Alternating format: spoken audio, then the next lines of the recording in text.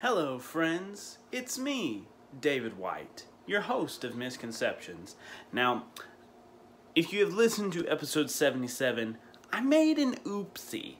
I said that episode 78 would be coming out November 30th, but what I didn't realize is that November 30th is the Monday after Thanksgiving, and there is no realistic way that I could get that episode edited and ready to go during Thanksgiving.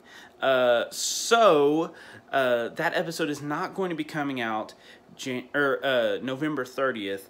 Instead, it is going to be coming out January 4th because uh, we here at Mistconceptions Podcast Network are going to be taking December off from recording and from releasing episodes so that we can spend time with our families. Um, this has been a stressful year. I think we need some time with our families. So there is going to be no releases for Mistconceptions or for Sins of the Father during December, but you can look forward to the story continuing with episode 78 on January 4th. I hope you are all safe for the holiday season. Wear your masks, uh, be responsible with whom you visit, uh, and I hope that y'all have a great holiday season. We'll see you back January 4th for episode 78 of Mistconceptions.